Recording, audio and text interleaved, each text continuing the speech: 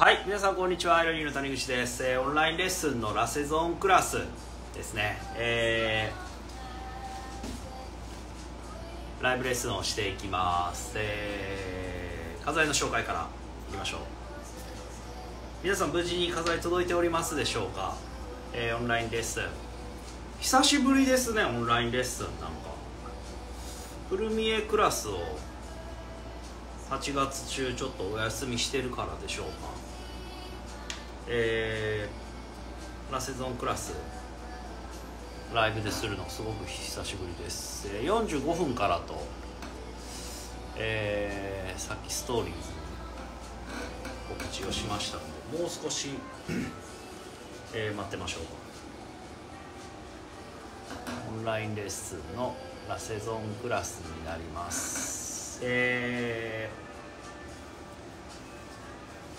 8月少し少なめにしてますけどもアイロに、えーオンラインで画材を配送して、えーインスタグラムのライブで、えーレッスンをねするというのを、まあ、コロナ禍からずっと積極的にやっております。最近ちょっとね落ち着いてきましたけどねオンラインレッスンは。対面レッスン、えー、芦屋店青山店でのレッスンが、えーまた活発になってきて、えーちょっとまあ分散したような感じになっておりますが、まあ、遠方の方とかもね受けていただけるので、えーオンラインレッスンいろいろありますのでぜひ。アイロニーのオンラインストアですね、えーこの谷口のアカウントとかアイロニーの、えーインスタグラムアカウントのリンクがオンラインストアになってます。レッスンというカテゴリーがありますのでそこから各種レッスン見ていただけると、えーいろいろあるのでご自身に合ったものを選んでいただいて。このラセゾンクラスというのは、えーちょっと贅沢な難しくはないんです。ベーシックなブーケを束ねるだけなので、えー難しいクラスではないんですね、えープルミエクラスという、えー初心者向けのレッスンというかねベーシックコースみたいなものがベーシッククラスですね。と言われるプルミエクラス。というのがあるんですけども、えープルミエクラスの場合は、まあ、ベーシックなスタイルを、えーちょっとお得にカジュアルな感じで、えー楽しんでいただけるという感じなんですけどもラセゾンクラスは少し贅沢に、えーたくさんお花を使ってブーケを束ねると、まあ、旬の花ですね。季節の花を束ねましょうというのがラセゾンクラスになります。はい。これ対面レッスンも谷口が、えーブーケレッスンやるときはこのラセゾンクラスというね季節感のある花を束ねましょうという風な感じでやってます。はい。では45分になりましたのでね課題説明からやっていきます。まずメインがバラケンジントンガーデンですね。はい。割としっかりめのまあオープンにして咲かせてから出荷するような感じのねバラになります。ケンジントンガーデンはい。これバラってねなんかつぼみのバラがいいと、えーいうね方、まあ、ご年配の方とかでね花つぼみじゃないと長持ちしないんじゃないかという方いらっしゃるんですけどもあのーまあ今、えー僕ら扱ってるような花っていうのはいろいろまあ、え改良も進んだりね研究も進められて、えーどの状態で切るのが畑で生えてるところからねどの状態で切るのが一番いい状態で楽しんでもらえるかというのをいろいろね、えー市場問屋農家さん、えーいろいろ研究してくれております。このバラなんかは割とまあ切り前っていうのが、えー緩めというか開いてからの状態で、えー切って。大体だから切り花って切ってからまあ1週間ぐらい持てばっていうふうに言われるので、えーこれなんかはねちょっと時間をかけて畑で、えーしっかりもう少し咲かせてから出荷しているというような感じのバラになります。割とこう大きくグリグリっと咲くような品種ですね。ケンジントンガーデンと言います。はい、はい、だからね皆さん、まあ、花屋さんでね花買う時にこれ咲き加減で花の品質見てるとちょっと判断できないですよねそれが。実際開いてきてるのか。えー元から咲かせて切ってるものなのかっていうのがねこれちょっとねこうやってね横から鼻頭からこう当てると傷がつくんですけどもこう横から触ってあげるとこれ分かるんですけどぎっしり詰まってる感じがします。こういうのは割とねあの畑でこういう状態になるまで、えー、咲かせておいて出荷してるもの。もっとねふかふかしてる感じだとあこれはつぼみのが開いてきてるんだなっていう感じがありますけども。だからこういうちょっと触ってみてまあしなっとしてると水下がりしてて穴持ち悪い感じなのでパリッとしててこうぎっしり詰まってるようなものを選んでもらうと良いかと思います。はい。はい。ケンチントンガーデンはい。あとアナベル。アナベルですね。これ西洋アジサイ、まあ、アメリカが原産のアジサイになります。アナベル。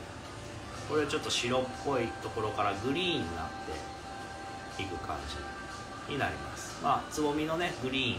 まあ若い時のグリーンと花が開くと、まあ、開くというかね最盛期はまあ白っぽい感じになってこれはまあ立ち枯れていく前のグリーンですね。晩期のグリーンになります。アナベル。はい。で、えー、ちょっと秋っぽい画材になります。秋のね色のグロリオサ。えー、とビバーナムのコンパクタベリー。コンパクタベリー。ね。若い実が入るともう一気に秋の感じが出てきますね。はい、えー、これはヤリゲイトですね。ケイト、えー、です。はい。えー、あごめんなさい。アマランサスですね。これアマランサスのホットビスケット、まあ、ケイトウですね、まあ、ヤリゲイトのアマランサスと言います。はい。アマランサスのホットビスケット。でこれもケイトウなんですよね。これもこれもケイトウです。ケイト。はい。でこれはね、えー、石化ゲートでねトサカケイトとか石化ゲートウと言います。石化アンティークオレンジというゲートウになります。はい。あとシュウメイギク。シュウメイギクですね。はい。で、えー、これ三島最古と言います。三島最古三島最古と言いますはい。えー、これ銀歯グミとキイチゴベビーハンズを束ねていきます。はい。ブーケ束ねる時はね初めに下葉の掃除をしていきます。手で持つところに葉っぱがあると、えー、葉っぱ潰してしまって茎を傷めてしまうんで、えー、手でこうやって握っていくところには何もないような状態にしていきます。枝分かれしていて花の邪魔になるものがあればそういうのも落としていきましょう。はい。こんな感じでねこのぐらいのところを持ちましょう。この辺ある花はまだ使っていけるかなと思います。でバラはね葉っぱを落としました。バラ葉っぱを落としました。はい。あとはもう大丈夫かな。フロリオサはい。こういう絡まった花を取るときは足の方茎の方をこうやって外してもらって揺するような感じにして取り分けていきましょう。はい。引っかかりますグロリオサこれユリの仲間なんですよね。はい。これグロリオサねこれ例えばここ。ここでこの辺で持つとこれ持ちにくいので切ってもいいしこれだけ落としてもいいしはい。ここ揃ってるんですよね。僕だから今日のだとここで落とそうかな。こんな感じでこの枝長く使ってこれもまあこれぐらい長さあればいけますからね。はい。こう使いましょうはい。これも切り分けようかな。この大きい花長く使いましょう。はい。はい。これは枝も取れ分かれてたんでこれ短くこれで使いましょうはい。以上かな。こんな感じですかね。まあ束ねながらこういう枝分かれしたもの邪魔になれば落としてください。まあ大丈夫なものはそのまま束ねてもらってもいいですし。はい。じゃあ束ねていきますね。ブーケ束ねる時は、えー、この茎の部分をねスパイラルメソッドといって同じ方向に重ねていくような感じでね交差しないように重ねていきましょう。交差しないようにこう重ねたらずっとこの螺旋になるように重ねていきます。だからこういう動きをしてもらってこう足を足して人差し指を抜いて持つ方法もしくは、えーね、上の方こう開い。て頭の方をこう入れてもらう方法どちらか。でしてください。はい。よいしょ。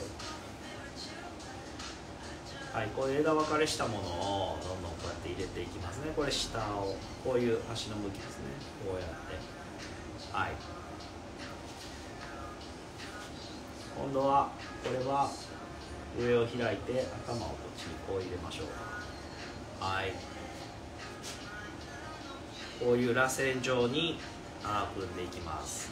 これ最初慣れないうちはねこのスパイラルに束ねていくっていうのがすごく難しいんですけどもこの螺旋状に束ねるっていうのはあのー、これがしっかりできていないと花持ち長く楽しめるかどうかに影響をします。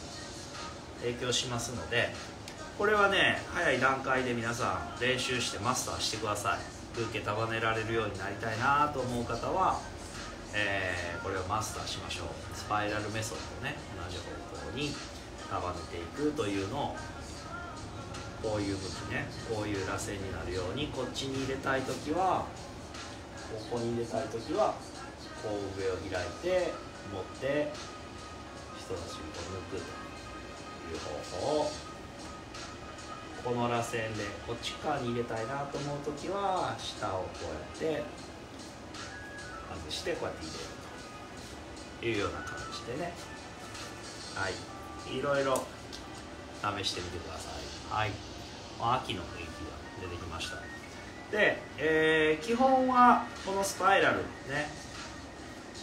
鼻の向きをね茎を揃えていくというのをしてほしいんですけども、えー、もう一つ皆さんこれね意識してほしいこと意識してほしいこととして、えー、この武器を束ねる時のね、えー、同じ素材を使っても出来上がりがいろいろ変わってくる時に考えられる3つのポイントというの3つのポイント、えー、それまず1つ目はどの花をどこに配置するか。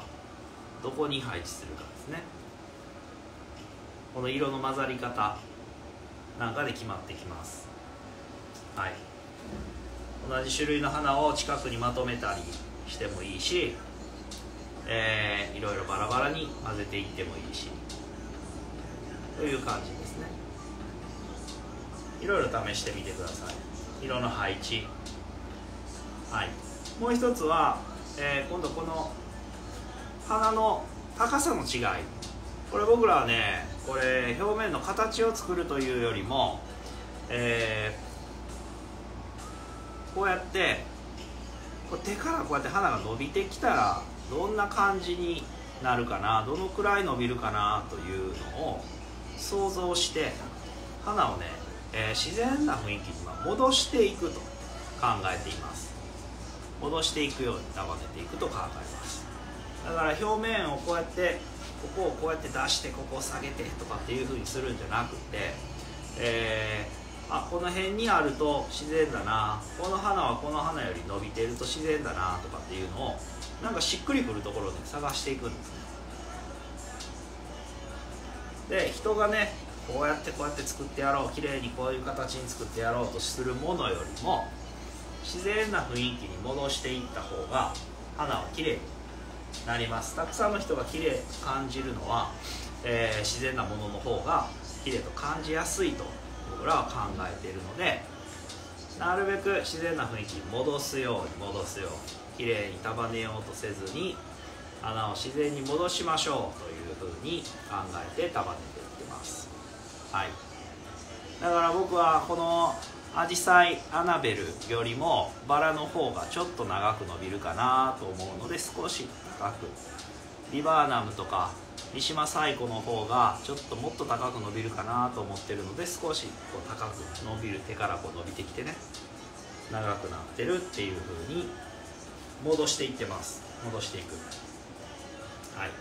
だ花瓶に飾った時に花瓶から花が生えてきたらどういう風になるかっていうのを考えてそこに戻していくようにしましょうという風にいつもお話ししてます。はい。で3つ目3つ目はね、えー、これ戻していくんですけども配置この辺に生えてると綺麗かな。このぐらい伸びてると綺麗かな。この向きこれがどっちに向いて伸びていくのが自然かなっていうのを考えてもらうと。いろいろね試してみてください。それ最初はもう自分ではねで分からないことも多いのでこれどっちがいいかなっていう判断ができないことが多いのでこれね、えーと、違和感があったら違和感見逃さないようにしてもらってあれ？なんか違うなと思ったら、えー、ちょっと違う場所にしたり配置を変えてみたりね高さを変えてみたり、えー、鼻の向きを変えてみたりこの3つのポイントをね変えてみてください。でもう一回見直して自分がどう感じるかっていうのを確認してもらうといいと思います。はい。でこんな感じでねバランスをとっていきます。最後に僕は葉っぱでこう側面をちょっと包んであげるようにして紙とのつながりが綺麗に見えるようにしています。はい。何かな最後はい。こんな感じになりました。はい。でこれブーケ束ねていく時はね、えー、どこに飾るかみたいなものもすごく大事。どこに飾るか。どこに飾ってねどこから見るかっていうのが大事です。こうやって上から見るのかこうやって横から見るのかねそれによって形とか配置変わってきますから、えー、こうやって手を下げて上からこうやって見ながら束ねる。と楽なんですけども飾る時このぐらいの位置から見るなとかそれ合わせて手の位置を調整しながら束ねていって確認して作ってください。はい。はい。こんな感じのブーケになりました。はい。はい。すごく綺麗ですね。ありがとうございます。はい。秋ですね。秋の感じ。はい。出来上がったら、えー、こうやって朝紐も入ってますから花材にはね朝紐が入ってますから朝紐で結束してください。はい。こんな感じ。ぐるぐるぐるっと巻いてもらって。これねあんまりきつく縛りすぎるとね、えー、花の茎を潰してしまうので最低限ばらけない程度にぐるぐる巻いて結束してもらって。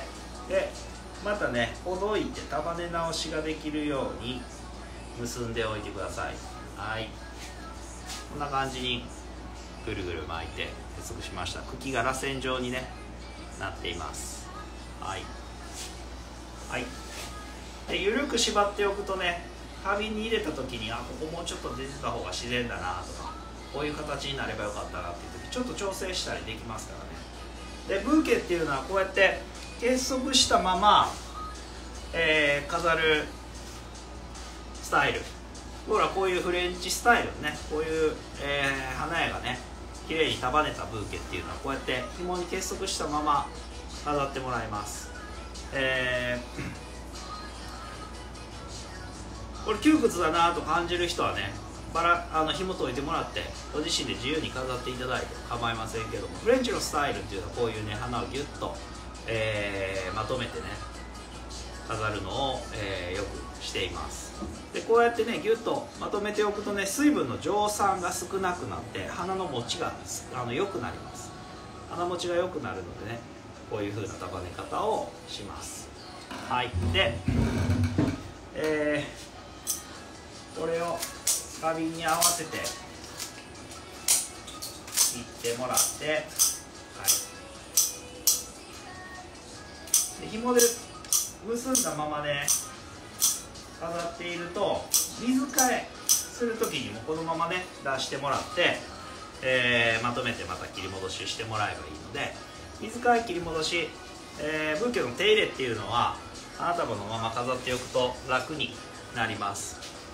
はい、で傷んだ花が出てきたりしたら、えー、ブーケほどいてもらって、えー、それを取り除いてまた束ね直しをしたり小さい花瓶とかにね別々に入れてもらったり。花瓶もだからいくつかのパターンいくつかの種類のねこういうブーケを飾るタイプの花瓶だけじゃなくてね小さい花瓶がいくつかあったりとか、えー、いろんな飾あの花瓶があると、えー、花束いただいた時なんかもねいろんな楽しみができますから、えー、花瓶、えー、いろいろねいろんなパターン揃えてもらってね花を迎えられるようにしてもらうと、えー、せっかくね切り花っていうのは花の命をいただいて、えー、我々楽しませてくれるので、えー、いい花瓶でお迎えしてね、えー、花を生かしてあげられるようにしてもらうといいと思います。はいこんな感じ。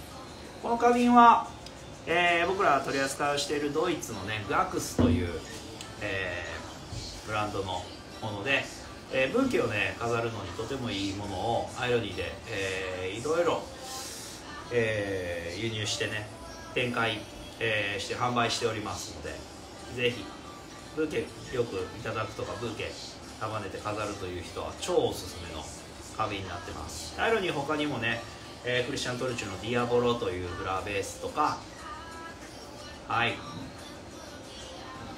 ディアボロというフラーベースとかね4月の牡蠣っていうね、えー、切り花も1本ずつ庭のように生けていくような花瓶とかね、えー、これだか僕はこう4月の牡蠣とディアボロとガクスを2つぐらい色違いで持っておいてもらうとあの切り花すごく楽しめるんじゃないかなと思っております。で、えー、オンラインレッスンもやってますがアイロニフラーベース今、えー、8月中あもうすぐですね。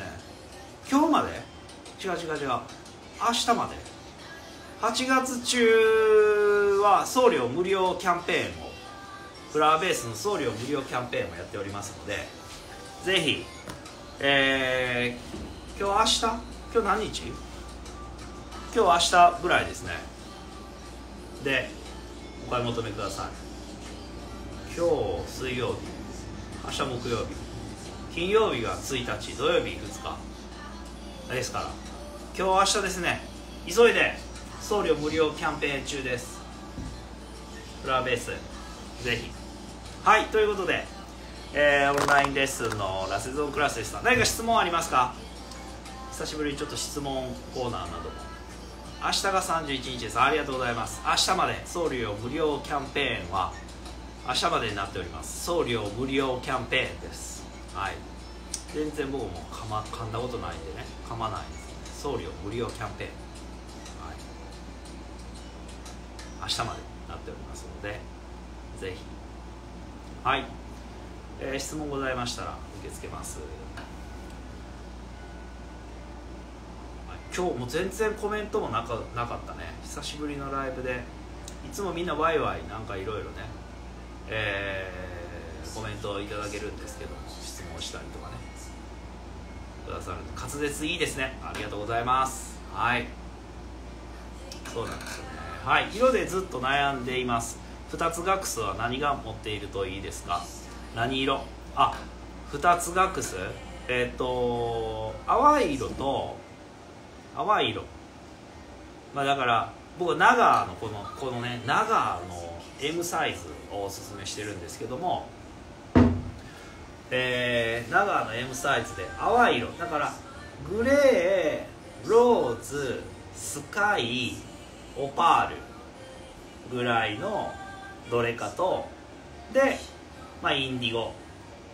まあだからインディゴとグレーは割と濃い色でも合わせやすいんでインディゴ、まあ、1個だけだったらもうグレーを1つなんですけども2つ買うんだったら2つ持っておくんだったら、えー、インディゴとか、えー、とあとは、えー、淡い色ですねスカイとかローズとかスカイ可愛いですよね。ねそうなんですよね。だからローズとかスカイが可愛いなと思ったらローズかスカイ買ってもらってあと一つ濃いめのものを買っておくといいと思います。濃い色のものね。インディゴとかね。だからベリーのインディゴとか割と何でもね合わしやすいしね。はい。という感じで。まあでもこれ買い出すともうねいろいろあるともう本当にいろいろ花の楽しみ広がるので、はい、まず一つ。徐々にね追加していってください。4月の柿とディアボロとガッグスをねこれがあればもう本当に楽しめますから。はい。えーうっかり1年で10個買いました。あもうそれシェンロンが出てくるやつじゃないですか？シェンロンでシェンロン出てきましたシェンロン出てきました。ありがとうございます。はい。はい。嬉しいです。ありがとうございます。はい。どんどんね皆さんもうっかりしちゃって。いただけると。まあでもね本当にいろいろ楽しみ広がりますからあのずっとこれからも使っていけますからね。はい。フラワーベースはもう本当に持っておくといいです。はい。ありがとうございます、はい、ぜひね、えー皆さんもヤムチャを生き返らせてもらえるとね嬉しいですね。はい。どんどんもうヤムチャ死死にますから。ね。たくさん集めてどんどんヤムチャを。はい。えーうっかりうっとりキャンペーンキャンペーンね。えー関さん。ああまあ関さんも分かってるな。はい。えープルミエレッスンって今日はライブあるのですか？家財が未定で何かなと。プルミエレッスン？プルミエレッスンお休みしてません？プルミエレッスンお休みになってないですか？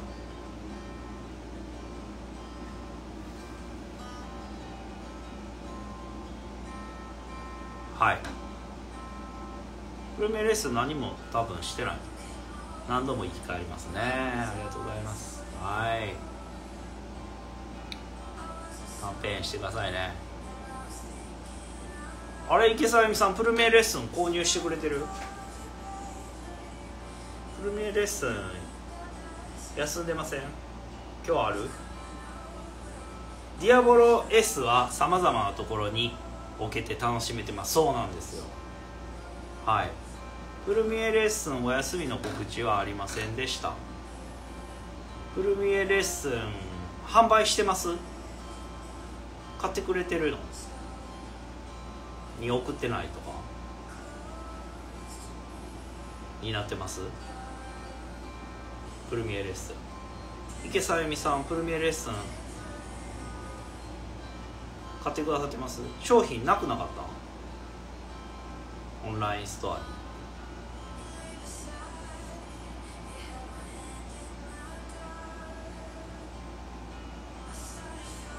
オンラインストアに多分商品置いてないと思うんですよね。はい。やっております。はい。市場直送便はありますからね。市場直送便今週土曜日はえー、バラですね。バラの回になります。はい。8月30日在庫なしで載ってました。あそうなんですよ。ないですよ。その買ってないライブだけ楽しんでる。いやいやありがたいですけどね。ないんですよ。ないんです。買ってください。あの始まる再開したら買ってください。はい。ぜひ。はい。びっくりした。売ってしまってんのかなと思って。はい。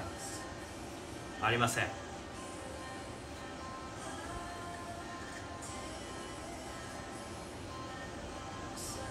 はい未定だから買えないでしょ。商品が残ってたのかな？みあのこれもともとまあお任せのレッスンなんでお任せのレッスンなのでね、えー、家財未定で買っていただくという前提で、えーお得な感じで皆さんに家財をアイロンにほぼお任せなので、えー家財決定は、えー到着の時にという感じでね、えーテーマとかはね事前にちょっと、えー告知したりすることはありますけども基本的にはお任せのレッスンになってますのでベーシックなスタイルの何かを作ってもらえるレッスンですよというのと、えー贅沢をする季節の素材でブーケを束ねますよというのがラセゾンクラスになってますから、えー、家財未定でも販売はしておりますので、えー未定の間に買っていただいても問題はありませんので。はいよろしくお願いします。はいではありがとうございます。失礼します。